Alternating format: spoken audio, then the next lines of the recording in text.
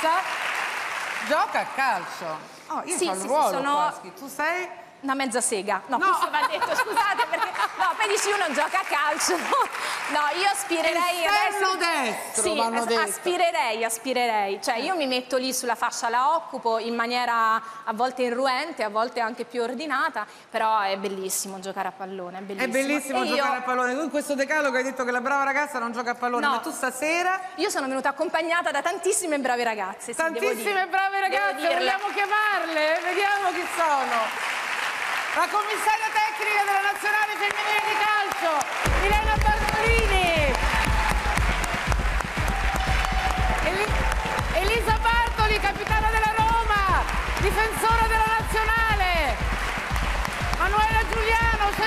Centrocampista sia della Roma che della nazionale. E l'arbitra del settore calcistico giovanile, Giulia Di Castro. Dai! Allora ci vogliono delle panchine, assolutamente. Benvenute, che bello, hai visto? Oh, intanto benvenuta. Allora, guarda, ho fatto venire le panchine perché nel divano non c'entravamo tutte, dai. Noi ci sediamo solo perché Voi siete abituate alla panchina? Beh, no. Tu vieni lì, allora mettiamo lei là. Come Vado? sono i ruoli? Beh, insomma, Io mi fate un po' quello che con volete. Emanuele ed Elisa. Allora, intanto benvenute, un applauso ancora. Che gioia, era tanto, era bello, è bello chiudere questa puntata. Allora, io voglio parlare subito, eh, tu mi devi dare una mano perché naturalmente sono, Sono- sono a disposizione. negata. Ho raccolto eh, dai giornali, dalle cose eccetera, una serie di insulti nei confronti di calciatrici donne che fanno paura. Non li vorrei manco dire, però insomma proprio roba, capito? Le donne che giocano a calcio sono brutte, scarse e mascoline, le donne non devono parlare di calcio perché non sono adatte, dette anche da persone altolocali. La lobby gay comanda il calcio femminile. Voi naturalmente a questi insulti rispondete con i risultati. E vogliamo parlare intanto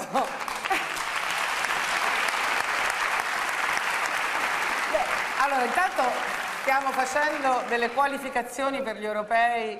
Vabbè, incrociamo le dita perché siamo, solo, le dita, siamo solo, siamo solo all'inizio, stiamo iniziando un nuovo percorso di qualificazione agli europei che insomma è un percorso tosto, però le ragazze come sempre sono state eccezionali finora e finora le hanno vinte tutte. Eh, le hanno vinte tutte. Finora sì, finora in sì. al girone.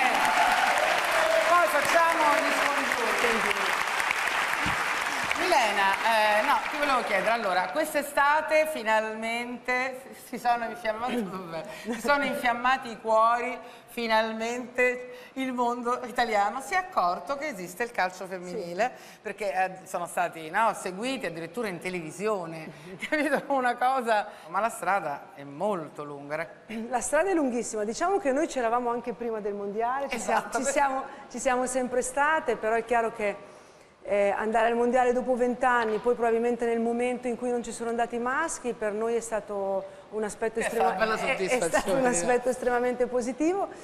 E poi, e poi le ragazze hanno fatto vedere eh, quanto sono brave a giocare a calcio, quindi ehm, al di là dei risultati, al di là del- di quello che loro fanno vedere, quello che loro trasmettono, ma soprattutto la sostanza. Sono ragazze che sanno giocare a calcio, hanno qualità, tecniche, tattiche e soprattutto eh, hanno- perché hanno fatto innamorare gli italiani. Io credo che abbiano fatto innamorare gli italiani perché hanno fatto vedere che un altro calcio è possibile.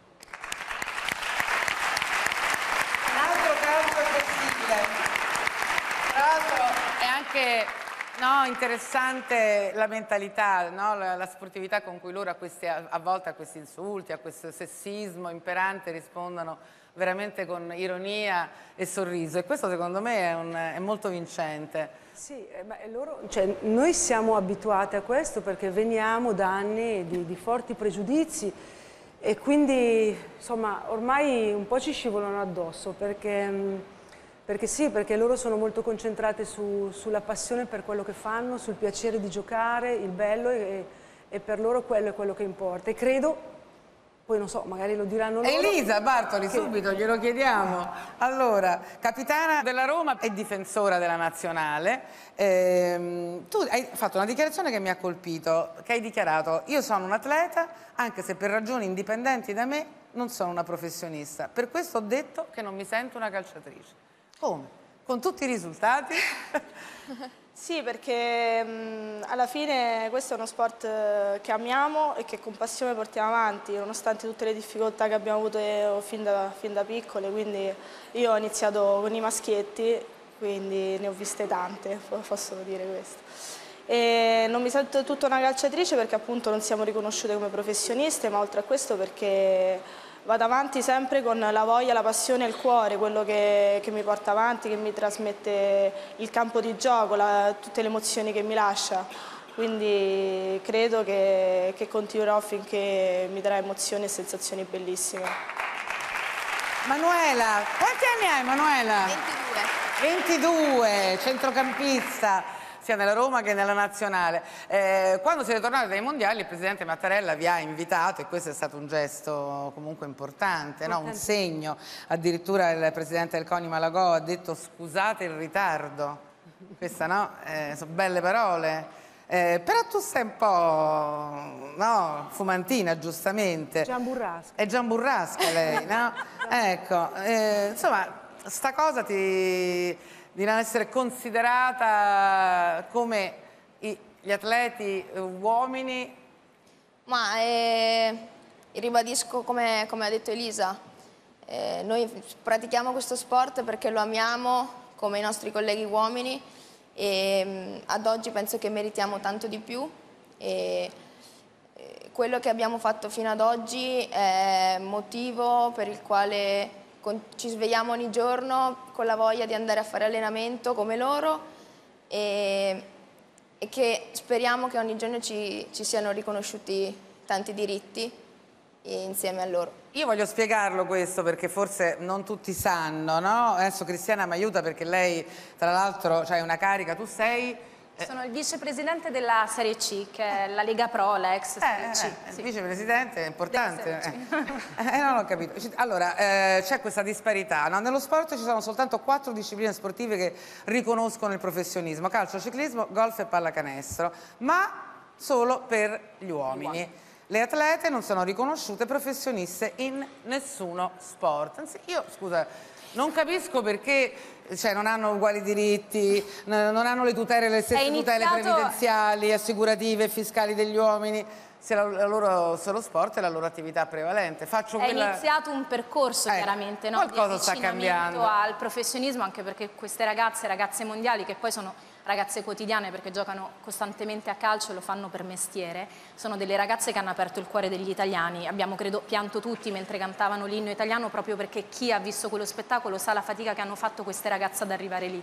Il percorso è iniziato, è un percorso che deve seguire i tempi del mercato, una serie di, di passi propedeutici. Il Senato poi... ha concesso alle federazioni la facoltà di riconoscere il professionismo. Però Esattamente. Però una, ci deve essere una disponibilità leggermente più ampia di, quello, di, quella chiaramente di questo emendamento che comunque è stato accolto molto bene da tutte le federazioni affinché il programma di avvicinamento al professionismo consenta realmente lo sviluppo del movimento perché queste ragazze ci devono arrivare chiaramente sapendo che poi il sistema si, si sostiene. Detto questo il calcio femminile parlando appunto dello spirito sia di, di, chi deve normare ma di chi poi questo sport lo guarda e lo ama, è sicuramente un movimento che parte dal basso, perché queste ragazze hanno aperto il cuore degli italiani e questo fenomeno calcio femminile è un fenomeno che è arrivato nelle stanze, chiaramente già il presidente Gravina ci stava lavorando, però il sistema calcio ha anche dovuto prendere atto di un amore che l'Italia ha dimostrato nei confronti di queste ragazze. E meno male, era ora,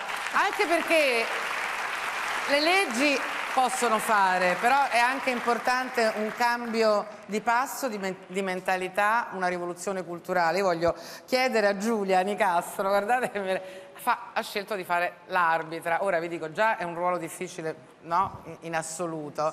È tosta sta scelta. Quanti anni hai? 21. 21, tu dici voglio fare l'arbitro. Allora, eh, a te di tutte ne succedono. Eh, so di un episodio ultimamente, no, lo racconto perché questo è un modo proprio per far cambiare la mentalità, eh, dove tu hai, non neanche ammonito, hai, non so, hai eccepito, come si dice, io sono ignorantissima, mi dovete... e, e un giocatore per protesta si è tirato giù i pantaloni, ha mimato vari atti sessuali. Io l'ho espulso. Espulso!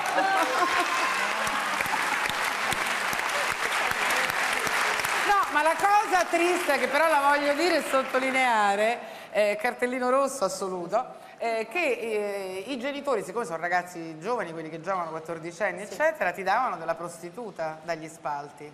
Ci vuole coraggio, eh, voglio dire, a, eh, e tu però non hai fatto una piega, hai continuato la tua partita, perché è un fatto culturale, no? che bisogna tutti un attimo farsi una domanda. Tu hai pensato mai di gettare la spugna, sta passione?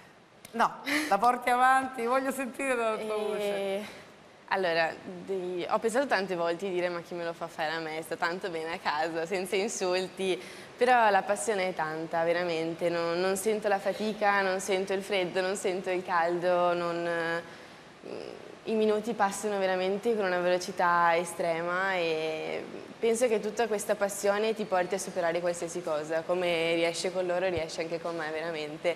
Io entro in campo con un sorriso smagliante perché vedi ragazzi che amano fare questo sport che è bellissimo secondo me e, e, io amo giocare con loro perché alla fine comunque sono secondo me due elementi complementari perché eh, si uniscono insieme e creano qualcosa di bellissimo che ha sempre appassionato tutti e quindi io continuo e mi fa male sentirmi dire magari delle cose per niente carine però penso che vedermi ancora lì, dopo tutto magari quello che mi hanno detto, sia una bella risposta.